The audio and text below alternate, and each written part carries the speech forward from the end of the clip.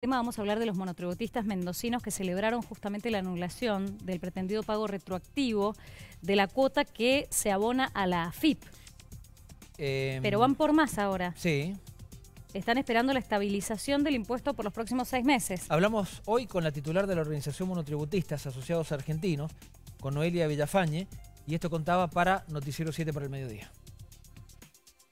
A partir de julio lo que dice eh, el gobierno es que va a haber, va a estar el aumento, pero no va a estar el retroactivo, que nosotros también decíamos que estábamos presentando un recurso de, nulidad, porque si no la persona que pagaba no tenía el efecto liberatorio del pago. Pero nosotros le decimos a la gente, como le dijimos eh, hace un par de días, que espere de que no pague el retroactivo, porque seguramente nosotros íbamos a lograr que el Poder Ejecutivo abra la mente, le decimos a las personas también que tengan esperanzas, que nosotros estamos fundamentando que es injusta esta actualización de la cuota en el monotributo. Sí que se actualizan los montos de facturación por un tema de inflación, pero la cuota no, porque el monotributista al menos necesita que se le confiere la cuota al 2020, ya que en el 2020 fue el único contribuyente castigado cobrándole un impuesto cuando tuvo cero ingresos. Entonces, esto vamos a seguir en lucha, vamos a hablar con el ministro, que nos abrió la puerta del Poder Ejecutivo Nacional, vamos a ver de qué manera articulamos justamente acciones en beneficio del sector y que hoy el, monotributista sienta que una batalla ha ganado, pero necesitamos todavía